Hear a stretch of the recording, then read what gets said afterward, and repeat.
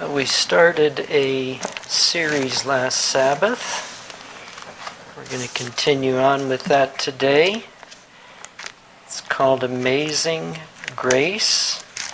This is part two. Last Sabbath we looked at the saint of God. Who was it? Who was it? Aaron, yeah, the saint of God, according to Psalm 106. But we notice that he did a few things that we would not consider him ready for sainthood,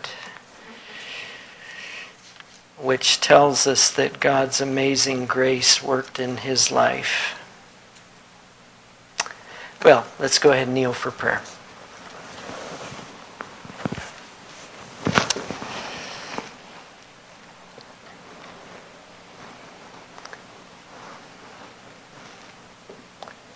Father in heaven, thank you.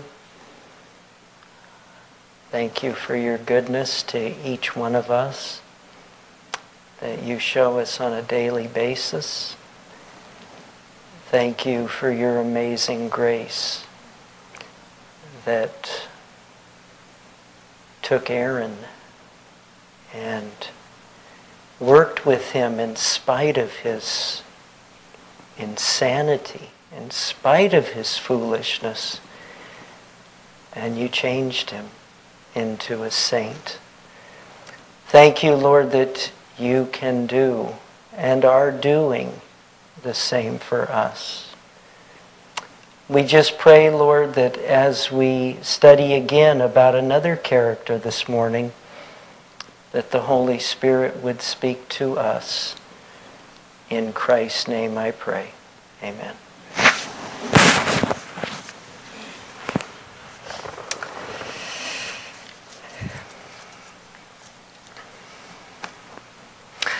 Going to start off the sermon a little bit different. This gentleman, I didn't tell you who we're looking at today, did I? Okay, good, good. The first person, when you think you know who it might be who we're going to talk about, uh, just call out who you think it is. But make it a, a reasonable guess, okay? You know, nothing shady. Um, God worked in this man's life for 40 years. 40 years. Uh, dramatic intervention took place uh, on repeated occasions, at least three that we know of in the Bible. He was known he was known in Scripture as the terrible of the nations. We find that in Ezekiel chapter 28 and verse 7. Uh, he was also known as a king of kings. I'm going to have to make it more difficult, Rita. You're right. It was Nebuchadnezzar. That's right. It was Nebuchadnezzar. Nebuchadnezzar came to power, we know in scripture and history, right about 605 BC. We're first introduced to him. Um, of course, Jeremiah spoke about him, Ezekiel spoke about him, and then, of course, he was definitely a big part of Daniel's life as well. But, folk, in 605, Nebuchadnezzar came to the throne, and we know in Daniel chapter 2, Daniel chapter 2, the Bible says in verse 1 In the second year of the reign of Nebuchadnezzar, Nebuchadnezzar dreamed dreams wherewith his spirit was troubled, and his sleep brake from him. So the second year of the reign of Nebuchadnezzar, began reigning in 605. We're looking at 603 BC. Now, folk, that was the first instance where we find God dramatically intervening in this heathen man's life. 603 BC. This went on, folks. This went on for the next 33 years. 33 years. We know that because when Nebuchadnezzar finally had a judgment pronounced upon him in Daniel chapter 4, we know that that was right towards the end of his life. He died, uh, history tells us, he died in 562 BC. Well, he went crazy for a seven year period. Josephus, in his writing, says that Nebuchadnezzar lived about a year after his insanity. So if he died in 562, the insanity ended in 563 BC. So from 570 BC to 563 BC is when Nebuchadnezzar became an animal. Okay? So there is the scope of this man's life. He, he, lit, he reigned for 43 years not only in Babylon, but throughout the Middle Eastern world, throughout the Mediterranean. So, folk, that went on for 43 years. At the 35th year of his reign in 570 BC, of course, judgment was pronounced upon him. So, folk, for 40 years, give or take a few on either side, God worked in this man's life to try to bring him to the place where Nebuchadnezzar was no longer the master of his life.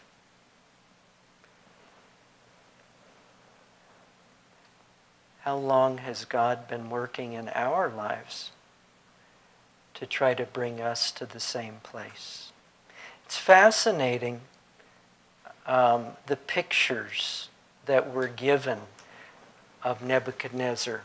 As we said already, Ezekiel 28, verse 7, called him the terrible of the nations. Ezekiel 26, verse 7, refers to him as a king of kings.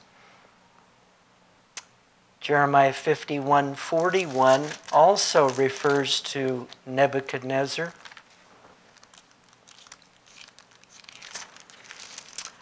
Jeremiah 51 and verse 41. It says, How is Sheshach taken? How is the praise of the whole earth surprised? How is Babylon become an astonishment among the nations? Well, Sheshach and Babylon are the same thing. So Babylon was the praise of the whole earth. Folk, the picture, one picture we get of Nebuchadnezzar, he was a ferocious conqueror. He was a mighty emperor. Um, he was a powerful leader. Paul? Real quick, it's interesting that in the turn of the century, 18, 1900s, the archaeologists at the time said the Bible was untrue because in the excavation of Babylon there was no sign of Nebuchadnezzar. A couple of years after they made that statement, another archaeologist found a level where they uncovered a, a, a ruin where his blue tile, was, which was his mark, was all over the place and his name was plastered everywhere. Yeah. And they said, oh, you know what I'm talking about? Yeah. Yeah. Paul's comment for the for the camera is is that um, many people believed because of excavations that were done in Babylon that Nebuchadnezzar didn't exist, therefore the Bible was not true. But um, they have since found many things in those excavations that would indeed say that Nebuchadnezzar did live, did reign, and uh, had a mighty impact in the world. So the fact that Nebuchadnezzar was a, a tyrant, he was a, a ruler, he was a, a warrior, he was a conqueror, he was a leader of men, and when he spoke, people didn't say, well, what they did say was, how high? They did exactly what he said. He was a powerful, powerful man. He not only was a warrior and a leader, he was also a master builder. Uh, we read about the golden city that Nebuchadnezzar built in Isaiah chapter 14. Isaiah chapter 14, the Bible says,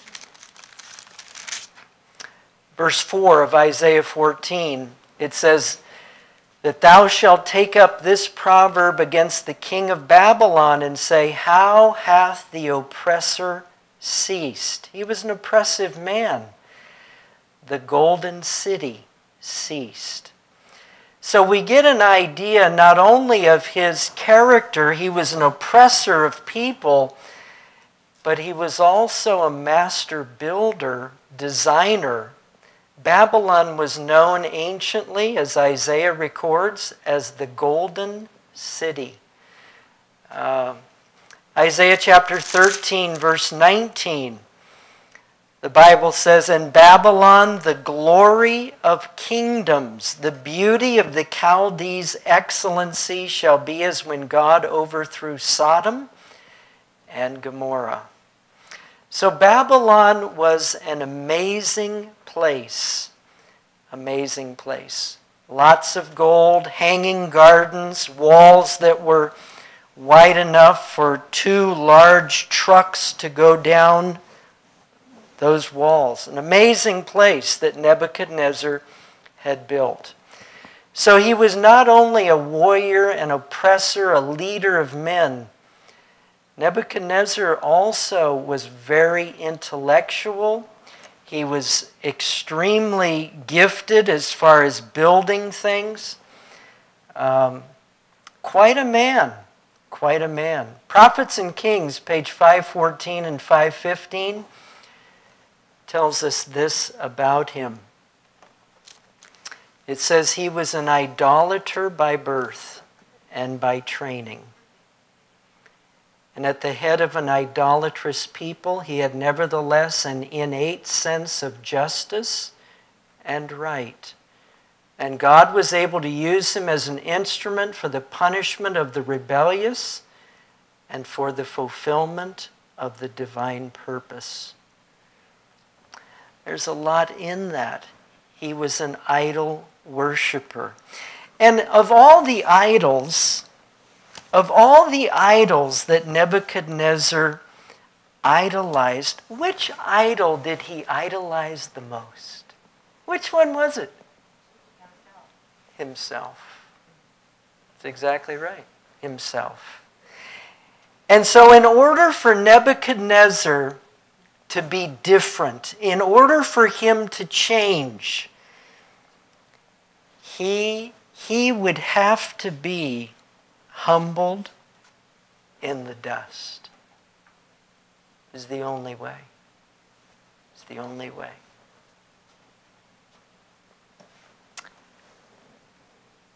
It's not surprising. Prophets and Kings 5:15 says that the successful monarch so ambitious, so proud spirited, should be tempted to turn aside from the path of humility, which alone leads to true greatness. In the intervals between his wars of conquest, see, so he was a successful warrior. He gave much thought to the strengthening and beautifying of his capital and it, until at length the city of Babylon became the chief glory of his kingdom. His passion as a builder, his signal success in making Babylon one of the wonders of the world, ministered to his pride until he was in grave danger of spoiling his record as a wise ruler whom God could continue to use as an instrument for the carrying out of the divine purpose. So he was not only a conqueror and a master builder, he was also very arrogant, very proud, very ambitious, and he loved himself. Boy, I don't know about some of those things, you know, as far as a conqueror, a, a master builder. I don't know how many of us can relate to that, but I think some of the other things, I know I can relate to that.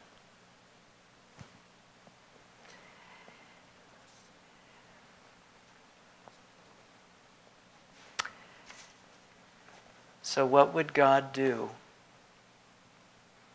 How would God try to reach this arrogant? What's that? Pompous? Absolutely, Faye. Absolutely. Very arrogant man. What would he use to reach him? Well,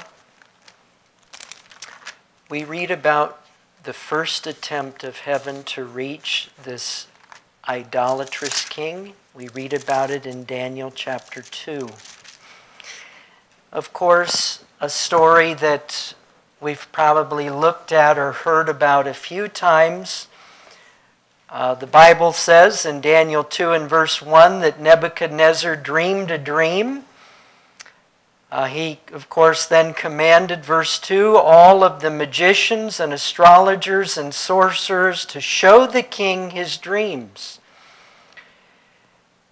But Nebuchadnezzar didn't know what it was that he dreamed, and so he told his wise men and magicians and sorcerers that unless they could tell him what he dreamed and what it meant, that their houses would become as dunghills and they would be killed. There you go, Rita. There's a, another unattractive um, element that we find in Nebuchadnezzar's character. He had a bad temper. Uh, you didn't cross him. Uh, if you did, uh, with the position that he occupied, he could kill you. He could destroy your family. Um, yeah. Not the kind of guy you'd want to be around for very long. Not with a temper like that. So, of course, we know that the young man Daniel came in, told, asked Arioch. We read in verse 15, it says that he answered and said to Arioch, the king's captain, why is the decree so hasty from the king? Then Arioch made the thing known to Daniel. Daniel went in, desired of the king he would give him time, that he would show the king the interpretation. And then, of course, Daniel and his friends went home. They prayed earnestly. And in the night season, God revealed to Daniel not only what the dream meant, but the very dream itself. And so Daniel comes in the next day. In verse 26, the king answered and said to Daniel, Daniel 2:26, whose name was Belteshazzar, Art thou able to make known to me the dream which I have seen and the interpretation thereof? Daniel answered in the presence of the king and said, The secret which the king hath demanded, the wise men, the astrologers, the magicians, the soothsayers cannot, cannot show unto the king. I'm going to guess that at, at that moment, between verses 27 and 28, that at that very split second, Nebuchadnezzar just about said, Hack this guy's head off his shoulders. But Daniel stopped him. In verse 28, Daniel said, But there is a God in heaven that revealeth secrets. And he will make known to the king Nebuchadnezzar what shall be in the latter days. And then Daniel tells Nebuchadnezzar what he saw in his dream. And he said, O king, you saw a great image, and the head was of gold. And Daniel said, Your kingdom is the head of gold. So the gold in the image represented the kingdom of Babylon. But then in verse 39, Daniel said, After you, after the kingdom of Babylon, would arise another kingdom, a kingdom of silver. And then there would be a third kingdom of brass, which should bear rule over the whole earth. And so Daniel begins to delineate the king's dream the head of gold, Babylon, the chest and arms of silver, Medo Persia, the belly and thighs of brass, Grecia. And then verse 40 the fourth kingdom shall be strong as iron. So the legs would be of iron, representing the iron pagan Roman Empire. And then, of course, the feet would be part iron and part clay, representing those kingdoms that came out of the pagan Roman Empire that would never actually join together. And then in verse 44 and 45, Daniel told the king, The last thing you saw, o king, was a stone, and it was going to crush that image and that stone would become a great mountain and it would fill the earth. And that stone would be set up when all those nations, from Babylon all the way down to the divided empires of Europe, when all of those would be destroyed, that would be at the second coming of Jesus Christ.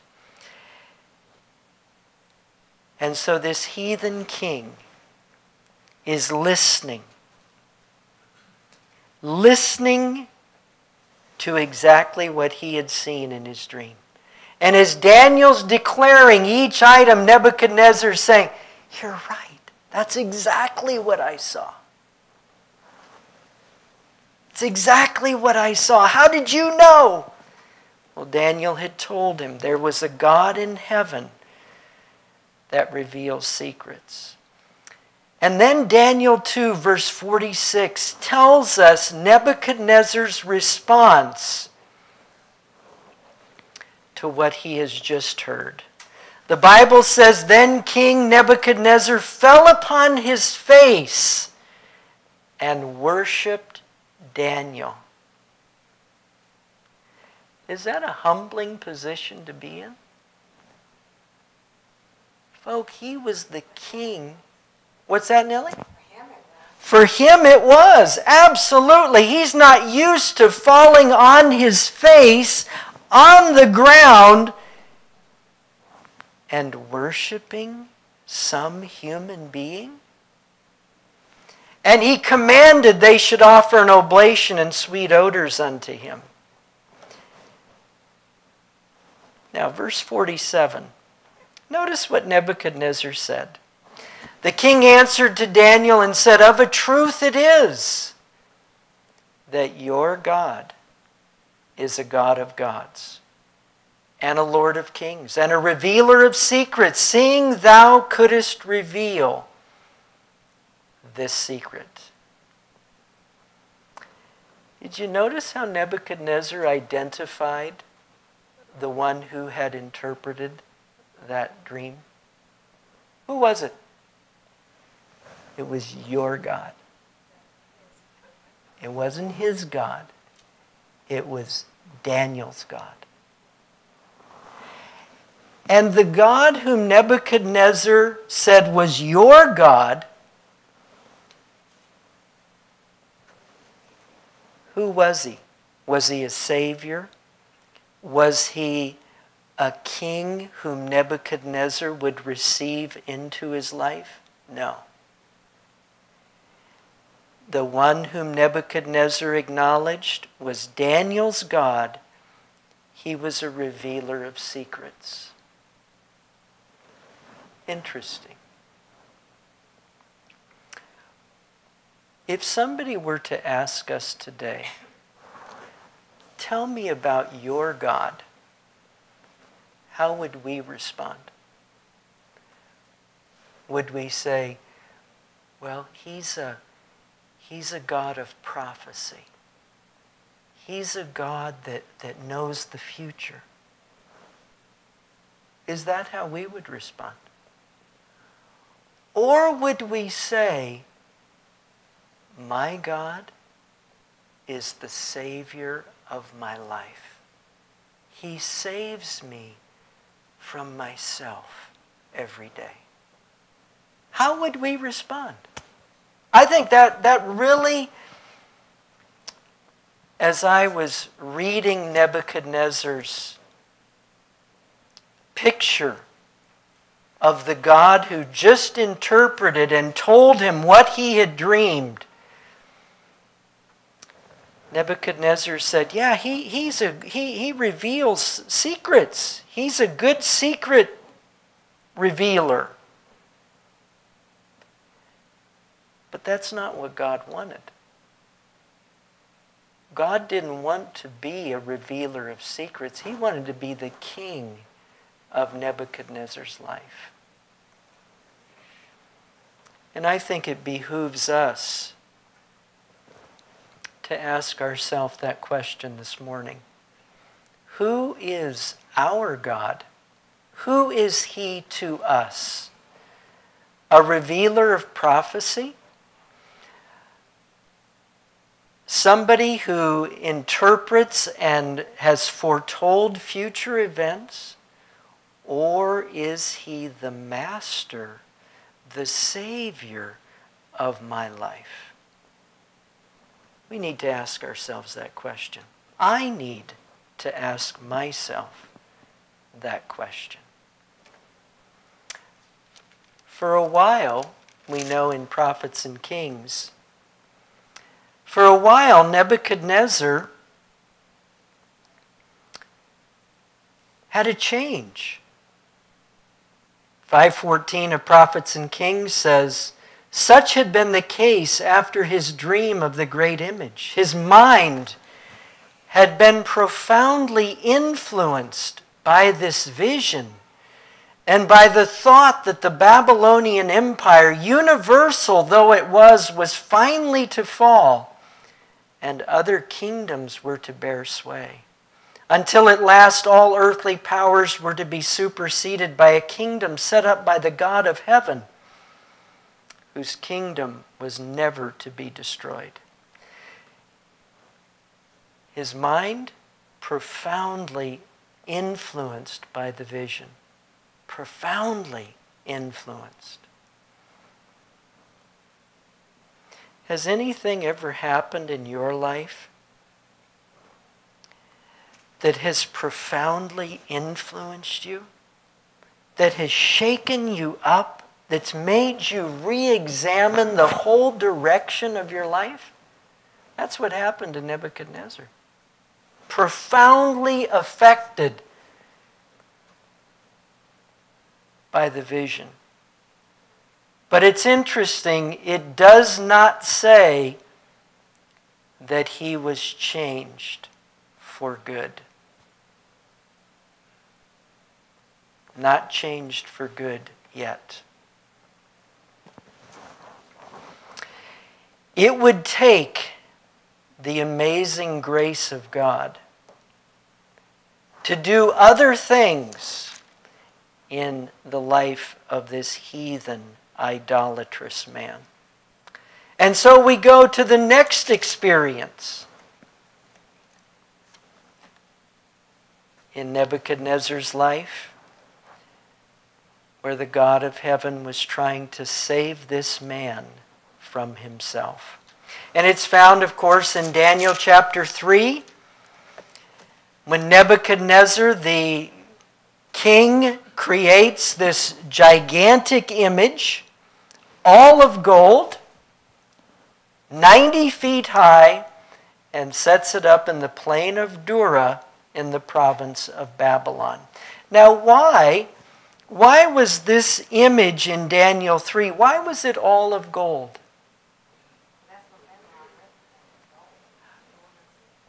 Okay, Babylon was the golden city, and in the image in Daniel 2, the head had been of gold, and that had represented Babylon. What was Nebuchadnezzar trying to communicate by this golden image on the plains of Dura? What was he trying to say to all the people that were gathered there? What was he trying to say? What's that, Reggie? That he was going to reign forever. That's right. There would be no more kingdoms. There would be no chest and arms of silver, no belly and thighs of brass, no legs of iron, no feet of iron and clay. Babylon was the eternal kingdom. And Nebuchadnezzar wanted all the people on the plains of Dura to know that.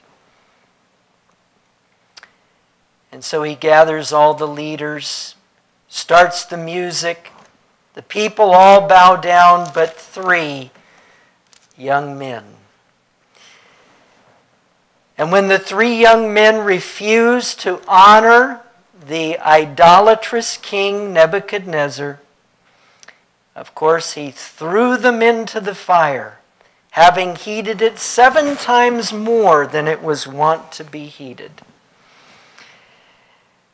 But then the God of heaven tried to reach him yet again. Daniel 3, verse 24, the Bible says Nebuchadnezzar the king was astonished rose up in haste and spake and said to his counselors, Did not we cast three men bound into the midst of the fire? They answered and said to the king, True, O king. He answered and said, Lo, I see four men loose, walking in the midst of the fire, and they have no hurt.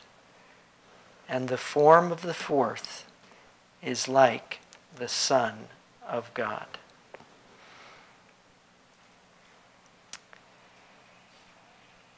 Nebuchadnezzar, profoundly affected by seeing the Son of God walking in the midst of the fire. How did Nebuchadnezzar know that this fourth being was like the Son of God? How did he know that? Holy Spirit impressed him, Dennis? Okay. Okay? Nellie, what were you going to say? Same thing, okay? Had Daniel and his friends discussed with Nebuchadnezzar the coming of the Son of God?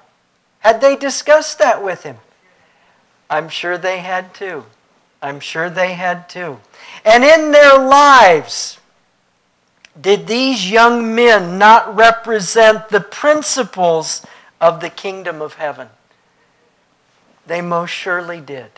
They most surely did. So Nebuchadnezzar was convinced that the fourth one in that crematory, in that furnace, was the Son of God. Jesus walked in the fire. Yes, it was to save his faithful children in that battle with Babylon the Great. Yes, he was going to deliver them from those flames. But God had other intentions as well. It wasn't just about the preservation of those three young men in that fire that day. The God of heaven loved all those heathen, idolatrous people on the plains of Dura. And the God of heaven wanted to reach them with the truth of his saving power to change them. God loved all the princes and governors and captains and counselors. And he loved the idolatrous, proud, oppressive king that sat upon the throne. And verse 28, we read Nebuchadnezzar's second little story. Nebuchadnezzar spake and said, Blessed be the God of Shadrach, Meshach, and Abednego, who hath sent his angel and delivered his servants that trusted in him, and have changed the king's word, and yielded their bodies that they might not serve nor worship any God except their own God. Now, from what Nebuchadnezzar said there, did he get the message that God was intending for him on the plains of Dura? Did he get the message? He didn't, did he? Whose God was it? Was it now Nebuchadnezzar's God? No, it wasn't. He didn't get it. He didn't get it. He said, Blessed be the God of Shadrach, Meshach, and Abednego. It wasn't his God, it was their God. And who was this God of these three young men? Well, he was a deliverer. Is that the message that the Lord wanted Nebuchadnezzar to receive that day? That he was a deliverer, that he could save people from fire? The God of Shadrach, Meshach, and Abednego wanted Nebuchadnezzar to get this message. As I save them from the fire, so I can save you from yourself. But Nebuchadnezzar didn't hear that. He was a God that saved people from fire, but not from themselves. He could do it for others, but leave me alone. So Nebuchadnezzar, profoundly affected by what happened with the fiery furnace that day, still didn't get it. He still didn't get it. Because Nebuchadnezzar wasn't in the fire. And the God who delivered those boys was their God, not his. And so Nebuchadnezzar had to get a third message. It's interesting, and you see this repeatedly through Scripture. God sends three messages to people, sends them three, just as we see in Revelation 14 6 to 12. The first one reveals his awesome power to save. The second one, when that is rejected, he sends warning. And then the third one is a final warning. Well, folk, God is infinitely patient, but he's also infinitely just. And so we find the third and final story in the life of the king of Babylon. It's found in Daniel chapter 4. Probably a story that we don't read that often. But this is it. Nebuchadnezzar,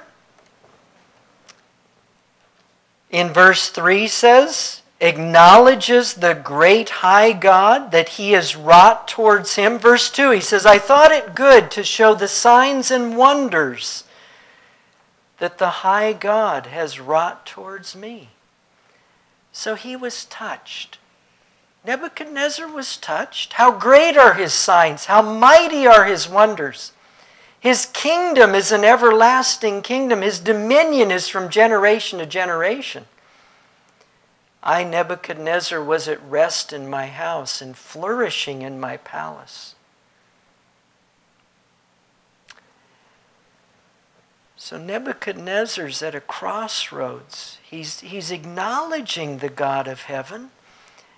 But at the same time, he's still acknowledging him and how great he is.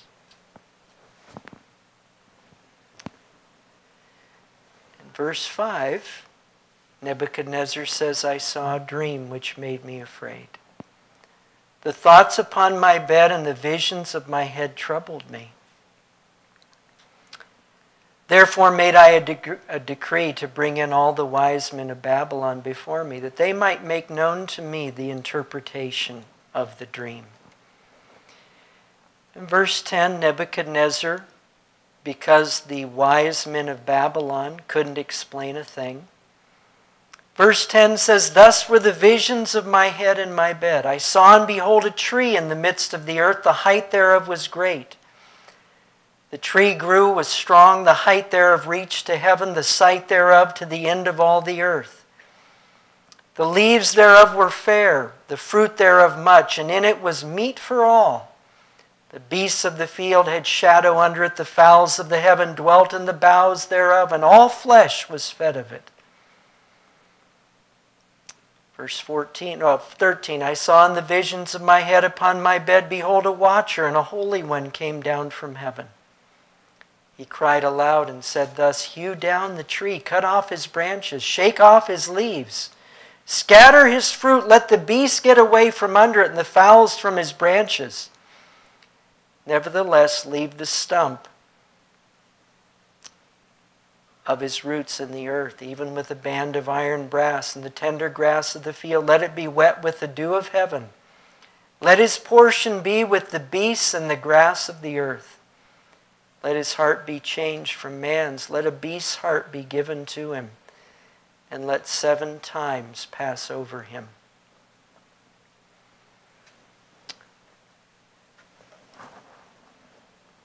So Nebuchadnezzar had a dream of this prosperous tree. Everybody was eating from it the beasts, the fowl, human being, everybody was feasting from this tree. But then the tree was cut down. Only the stump at the very bottom was to be left. And for seven years, this tree says, Leave the stump of his roots even with a band of iron in the tender grass of the field. Let it be wet with the dew of heaven.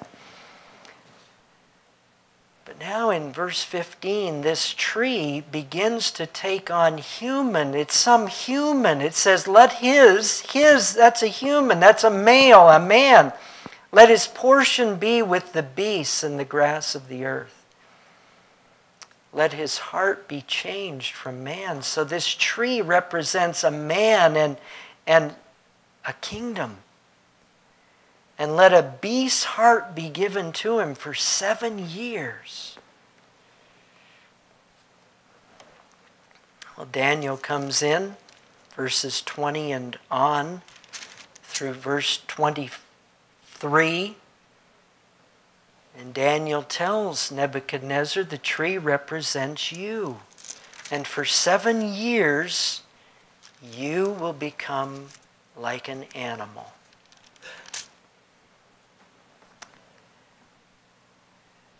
It's interesting. When we are not in submission to the authority of God, the best we can do is to be an animal. It's the best we can do, folks.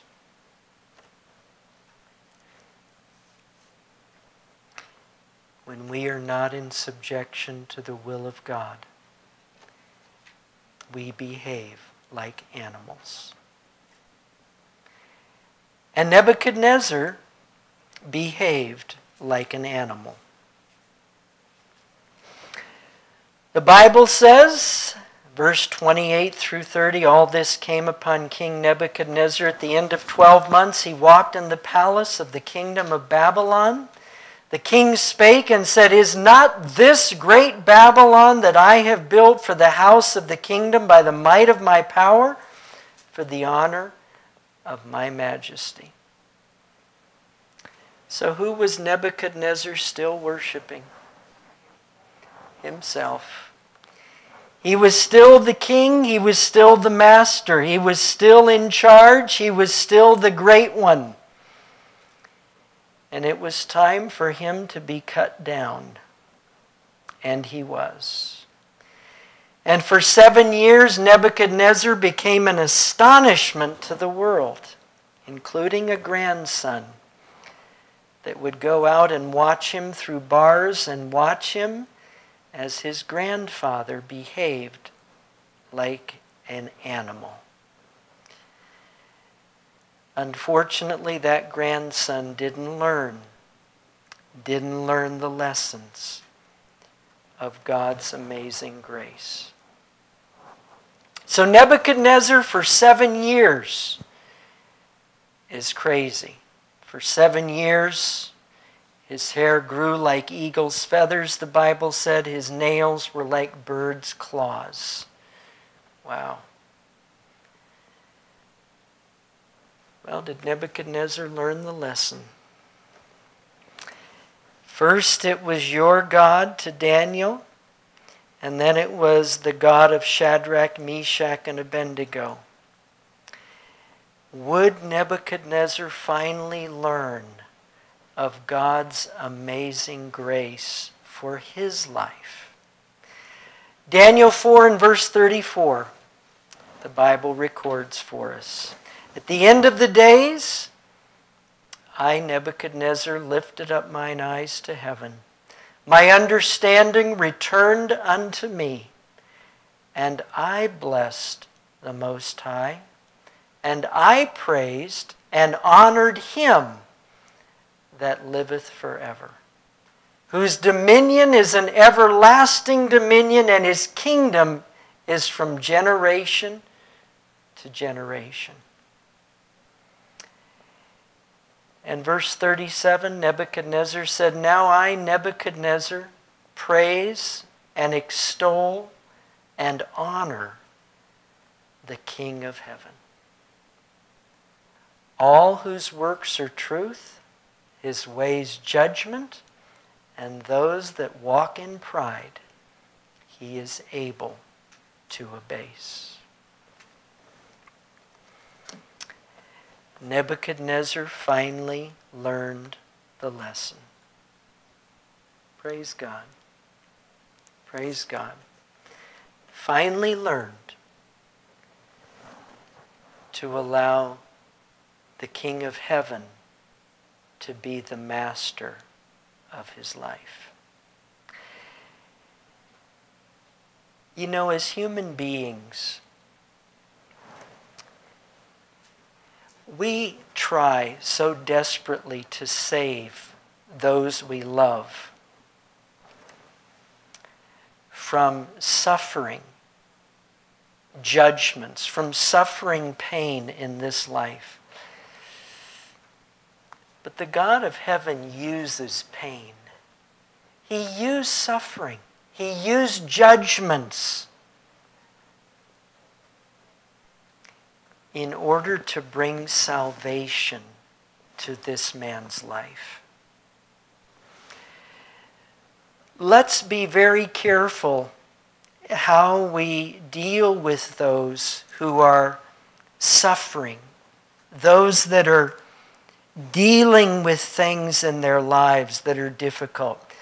Let's allow, let's allow the God of heaven to do his work in a difficult situation.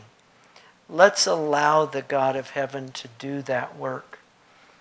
That the person who is suffering may receive the blessing that God has in store for them. Nebuchadnezzar learned of God's amazing grace. I pray, I pray that each one of us will analyze today, this week,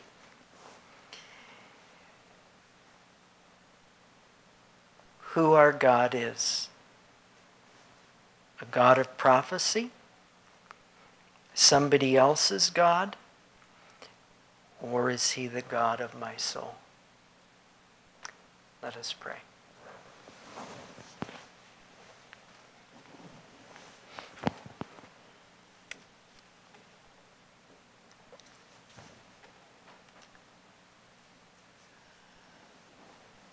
Father in heaven, thank you today. You worked for 40 years to save that man. You loved him so much. Thank you for the amazing ways in which you worked in his life. And Lord, if, if we're going to be honest, we can see how you've done the same for us. We haven't seen people walk in fire, and we haven't had somebody tell us a dream we had and interpret it. But Father, you've worked in amazing ways. I pray, Lord, that we would allow your gracious spirit to control us, to humble us, that you and you alone would be seen in our lives. Thank you that you worked long for that man, and thank you that you do the same for us. May we extol and honor and give glory to the same King this morning as Nebuchadnezzar did when he learned of your amazing grace. In Jesus' name, amen.